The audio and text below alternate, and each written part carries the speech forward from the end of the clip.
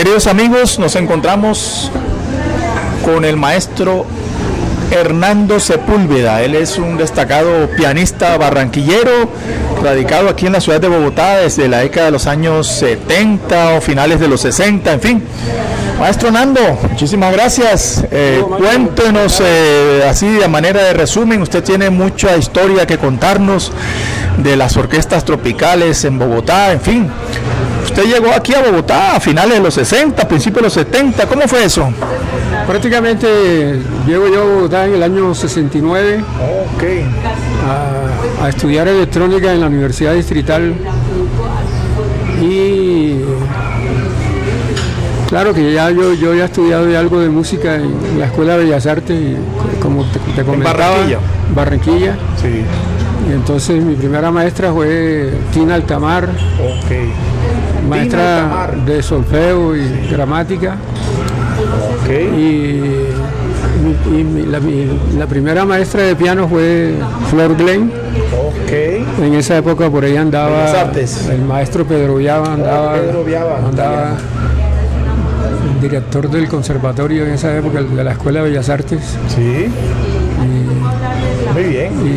Estaba otra ma- maestra que era Flor, ¿cómo que era se llamaba? Eh, Ah, con, Consuegra, apellido Consuegra. Claro. Y Miriam Pantoja. Mm, qué bien. Sí, estaba, estaba el profesor de piano también, eh, eh, Vázquez Pedrero, muy conocido en Barranquilla, y estaba también el maestro Han Newman. Claro. Que él me dio Sí. clases aquí en el conservatorio. yo. Sí, Señor, sí. eh, compositor. En esa época, sí. Sí, Newman. Que hicieron un libro sobre él hace poco. Y ya estando en Bogotá, entonces como Bogotá tenía mucha afluencia musical de orquestas y de vida nocturna, entonces Bogotá había muchos músicos, muchas orquestas y, y entonces me fui relacionando con ellos y terminé tocando en algunos sitios y, y así pues, se fue pasando el time. ¿Usted aquí en Bogotá alcanzó a, a- a formarse como, o sea, estudió pianística, algo? Sí, descubrí el- una vez que estábamos en la cancha de fútbol de, de esa cancha de fútbol de la Universidad Nacional, sentí como, como un murmullo musical. Entonces me asomé por la- una ventana y entonces estaban dando clases de música, pero en unos cuarticos de, de donde queda, donde quedaba la residencia esa que le decían Gorgona. Sí, Gorgona, sí. Entonces yo, yo al ver que había músicos y, y instrumentos y todo, entré y pregunté, me dijeron, no, este es el conservatorio de, de la Universidad Nacional, pero no tenemos sede todavía. Así es. Entonces, el próximo año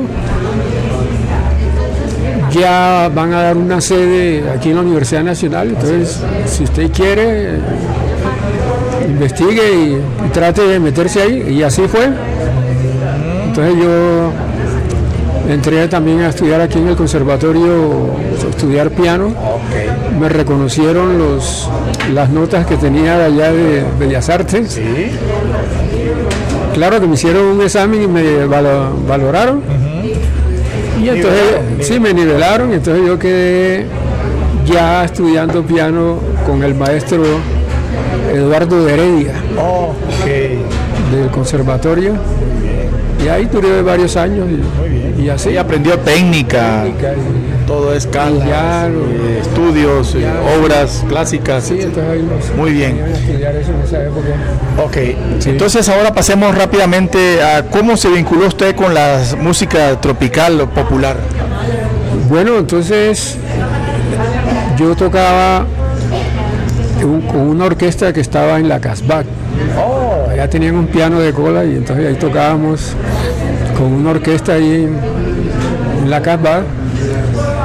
Y ahí llegaron unos compañeros que tenían un grupo que se llamaban Los Profesionales, que tocaban pura música de, de Gustavo Quintero, de- la música de, de pa- paisa, de raspa o chucuchuco que sí. llama la música tropical. Entonces me, me fui con ellos a tocar con los profesionales. Ya no era un repertorio de música de baile, de música de sembrina, esas cosas. Sí, música de, de baile, más que todo la música de de, que estaba de moda en Medellín, Sí. esa época.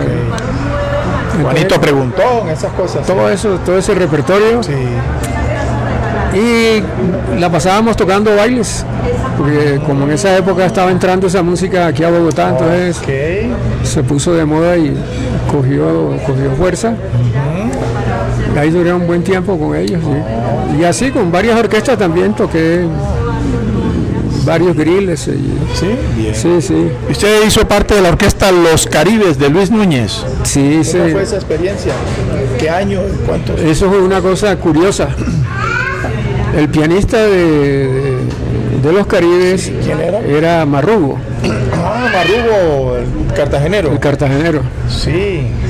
Entonces a él le salió un contrato para grabar, para grabaciones. Sí. Entonces él me dijo, oye Nando, necesito que me hagas un reemplazo de un año. Imagínate, un reemplazo de un año, Ah, un año. Para, para tocar. Sí, sí, sí. sí. para que yo tocara con los Caribes mientras él cumplía el contrato de, de sus grabaciones, porque como estaba exclusivo ahí.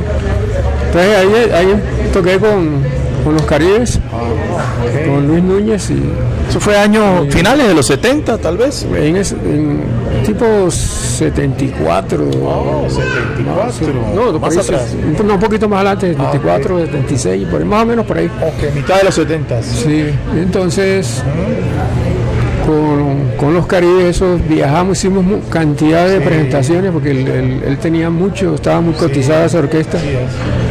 Y Pero esa es la música costeña, porro, cumbia, cumbias y tango, tango. Bueno, maestro Nando, cuéntenos ahora sí. Usted lo conocemos aquí en el medio musical como tal vez, usted me corrige, el primer pianista que grabó con el grupo Nietzsche fue Hernando Sepúlveda. Dígame cómo fue eso, dígale a Colombia, ¿eso fue cierto? ¿Usted qué relación tuvo con Jairo Varela? ¿Cómo fue eso? Bueno, ahí en la Universidad Distrital conocí muchos amigos chocuanos. Entonces, eh, ya con esos amigos chocuanos ya aparece Jairo con los chocuanos y ya me lo presenta, entonces ya yo nos volvemos amigos. y- entonces él me pide que le colabore en una grabación, que lo, lo ayude, que tal, que porque él andaba con su cuaderno de, Sí, eso de- dice todo el mundo, sí. él andaba con su cuaderno de, De composiciones. composiciones, sus letras y sus ideas. Y entonces, eh, si, eh, sea, eh, grabamos primero un, un sencillo, un 45. Oh, 45. En esa época era análogo, ¿no? Todo era, Todo era análogo. Ok, disco en vinilo. Pero, pero hicimos el, el- hicimos ese ese 45 en el estudio de Brando, Ok, Brando. Brando. Por acá, por el centro, por la séptima. sí, por la calle 21 con Ok. arribita a la séptima. Ahí grabamos un, un disco 45 revoluciones Ok. y yo creo que ese es el, primer disco que tiene que ver con Nietzsche porque parece que Jairo como que había hecho estos trabajitos pero ya diferente a, a la, a- la música que él Bueno, ¿usted recuerda que, cómo esa nómina, quiénes estaban ahí? Eh, supongo que Jorge Bazán o estuvo Saulo Sánchez, no sé, corríjame, ¿quiénes estuvieron ahí? Eh, sí, ahí de- después de que hacemos ese trabajito, Jairo por ahí lo mostró y tal, y, y llegó a la, a la disquera Daro, entonces le, le pusieron atención, le, le llamó la atención a Daro, Disco Daro. disco Daro. Entonces Daro le, le- les abre, les abre sí, las puertas para que para que grabe un long play. Oh, un long play ya. Sí, entonces ese- Composiciones todas de Jairo Varela. composiciones todas de Jairo. Y entonces eso se grabó en Ingesón, Ah, Gesón, acá en la 20... en la 22, 22. 22 que, que era el, Prácticamente era el mejor estudio que había en Bogotá. era el- ¿Y ahí grababan en bloque o en esa época era por partes? ¿Cómo era eso? no, ya ahí sí ya, ¿Sí? ya podíamos grabar por Claro, por canales. Por canales. Sí, sí, sí. y, Bueno, y- ¿qué números así famosos grabó usted?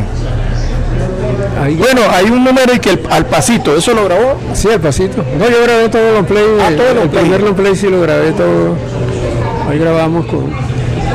Y entonces, en esa época, Jairo andaba con, con Alexis Lozano. Entonces, con Alexis, Alexis se encargó de arreglos y ya lo ayudó bastante también. Y O sea, los arreglos eran de Alexis. Alexis puso la- la, ¿Y cantantes entonces quiénes estaban? Entonces, cantantes, entonces, como estaba de moda por ahí Saulo Sánchez Ah, Saulo Sánchez de Girardot. de Girardot, Sí. entonces Jairo, ¿qué? Jairo llamó a, a Saulo, que Saulo tiene una voz parecida a Héctor Lavoe. Sí. Entonces, pero entonces en esa época Saulo Sánchez estaba de exclusivo con Disco Phillips. Entonces le tocó a Jairo, a Jairo cambiarle el nombre a, a Saulo. Entonces ahí aparece el aparece el nombre de Saulo como Sally Sánchez. Ah, ok, ok. Eso es un buen dato. Porque él no podía, No podía salir, dar su claro. nombre porque él tenía un contrato ya. Entonces aparece Saulo cantando la mayoría de los temas. Sí. También aparece invitado a cantar eh, Jorge Bazán. Sí, que vive creo que en Alemania todavía. Sí. Sí. Y también eh, invitan a Héctor Viveros. Ah, Héctor ya. Héctor Ah, también. Hermano de Wilson. Bueno, él falleció, Héctor. Sí, Héctor Viveros Sí. cantó unos temas ahí. Y, ¿No estaba Tuto Jiménez? y Wilson, y- y- no, todavía no estaba. tu- tu- Wilson, el hermano de Héctor, también metió timbales, Timbales, sí. trompetas. También estuvo, Y Adolfo Castro. Adolfo Castro, sí, sí. sí, sí. ¿Y en el bajo?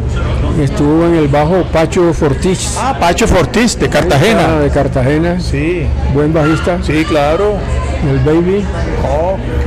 Y Sí. el trombón, me imagino que Alexis. Trombón Alessi metió los trombones. Sí. Sí. ¿Y la percusión quiénes estaban ahí? Ah, bueno, Wilson. Wilson. Eh, estaba estaba un, un conguero que le decían el caballo, pero este apellido Rodríguez, Alberto Rodríguez creo que era. No estaba Pipelón ni esas cosas, no. No, pero en algunas Ah, Ok. cosas así a veces, toques así de tabernas, así de pronto tocábamos con Jairo algunos. Entonces ese, ese fue un long play que grabaron y ahí pegó más al, al pasito. Sí, el pasito se gustó mucho, Sonó. sonó bastante en las emisoras. Ok. Y yo creo que como Daro era internacional, Sí. Lo, E- ese disco llegó a Nueva York, Ah. entonces por, por medio de la disquera, porque Sí. como la sede principal estaba en Nueva York, sí, sí. entonces eso le dio bastante, le, le abrió el campo también a, a Jairo para trabajo ya hecho, ahí más. despejó Nietzsche, el grupo Nietzsche nació, fue aquí en Bogotá Sí. y prácticamente se despegó de- desde aquí con ese long play. Sí, de aquí después de eso sí ya cambió un poco, ya vinieron otros músicos, otros temas, otros. Sí, sí.